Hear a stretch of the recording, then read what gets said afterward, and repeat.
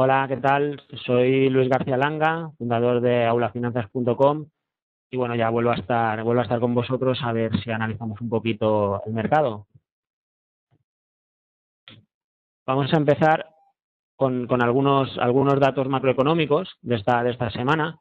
El viernes pasado conocimos uh, la confianza en la Universidad de Michigan, que fue un dato ligeramente negativo.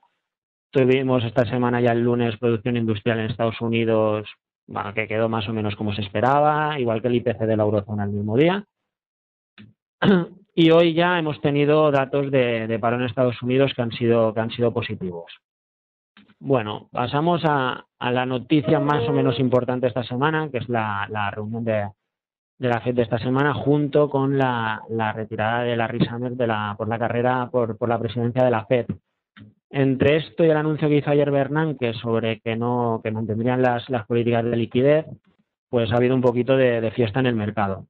El mercado pues le gusta esto que se, que se inyecte dinero, aunque yo soy de la opinión que este dinero que se inyecta no va a bolsa, así que cuando se deje de inyectar no tiene por qué bajar la bolsa, al menos a medio plazo, supongo que, a corto plazo sí por, por miedo de mercado. Pero bueno, mientras tanto, fijaos que, el, el esta semana subí, lleva subiendo un 2,5%. Solo una semana superando máximos históricos. Además, luego, luego lo veremos un poquito más en detalle. Y hemos tenido también noticias en España. El martes conocimos el déficit público para que hasta julio, que ha alcanzado el 5,27, muy alto teniendo en cuenta que el objetivo de Bruselas es el 6,5 y nos quedan, nos queda todo agosto, septiembre, octubre, noviembre y diciembre. Es decir, que, seguramente no, no cumpliremos objetivos de Bruselas y el nivel de deuda que ya estamos al 92,2%. Ya son niveles que empiezan a ser preocupantes. Fijaos que el nivel más bajo de deuda sobre el PIB español fue de 36% en diciembre de 2007.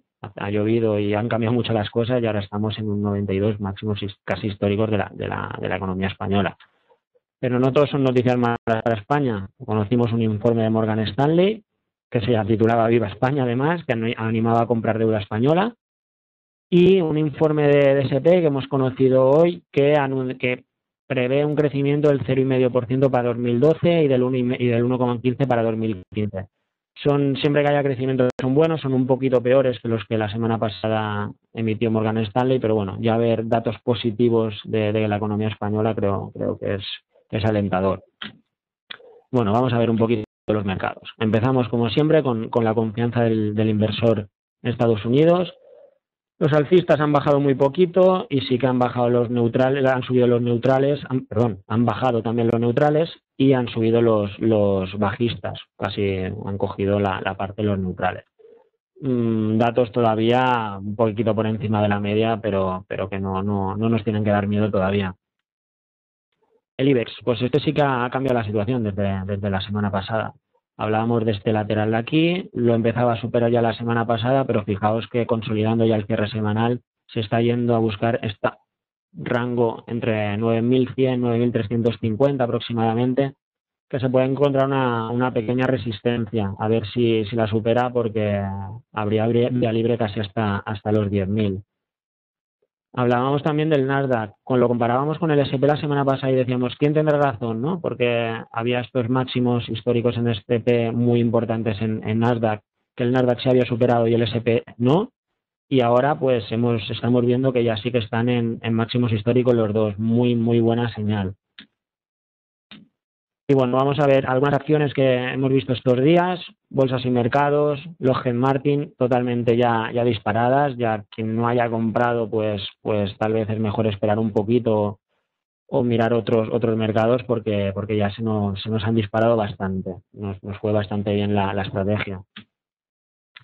Facebook. Facebook en un principio la, la estrategia que decíamos la semana pasada no funcionó. Fijaos que ni siquiera hubo ningún cierre diario, esto es un gráfico diario, por encima del máximo histórico, pero ahora estamos viendo que ya vuelve a situarse por encima, incluso con un cierre diario de ayer y prácticamente el de anteayer. Buenas, buenas perspectivas para Facebook, siempre con un stop por debajo de estos 45 que, que pueden ser, que puede ser un, nivel importante.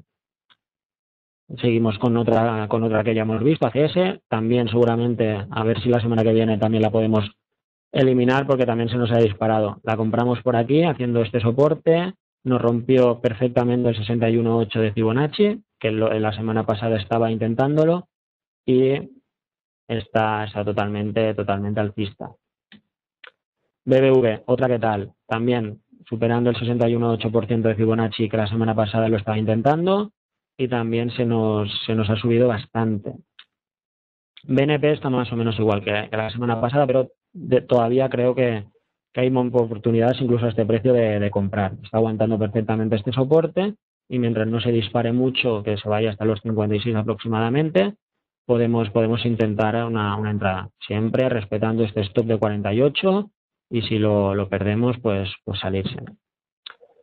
Una acción nueva de, esta semana, uh, Garmin, uh, es un bueno, es el fabricador de GPS y relojes, etcétera. Uh, vemos que después de estos mínimos ha superado esta, esta resistencia de aquí bastante bien y el recorrido que tiene hasta 50 dólares pues nos puede, nos puede dar unos buenos, unos buenos rendimientos. Y bueno, vamos a ver otros activos. Esta semana he elegido el euro dólar. El euro dólar no para hacer trading, sino para estrategias más a largo plazo o de cobertura. Aquí tiene mucho, mucho que ver las noticias de, los bancos centrales. De hecho, fijaos cómo ha bajado esta subida del euro, bajada del dólar de esta semana desde, desde las noticias que hemos visto en la FED americana. Y bueno, ha roto un soporte importante en 1.34, podría ir a buscar otra vez los 1.37, ya quedan lejos los 1.27 de hace, de hace unos meses y bueno, de momento pues es, está, está un poquito, un poquito alcista para, para el euro. A ver, a ver cómo, cómo evoluciona, si hay comentarios a un lado y a otro de, de sus bancos centrales de Europa y Estados Unidos pero de momento por encima de, esta resistencia parece, parece que el euro estará alcista al menos hasta los 1.37. Y nada, pues, pues muchas gracias, gracias a Windows Bolsa, gracias a vosotros y nos vemos la, la, semana que viene. Mientras tanto, si tenéis dudas, ya sabéis, en nuestro Facebook o en mi Twitter, Luis García Langa, podéis, podéis consultarme lo que queráis. Un saludo, hasta luego.